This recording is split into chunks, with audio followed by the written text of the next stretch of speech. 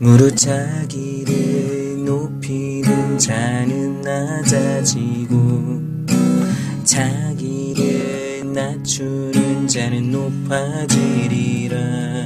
무릎차기를 높이는 자는 낮아지고 자기를 낮추는 자는 높아지리라. 높아지리라.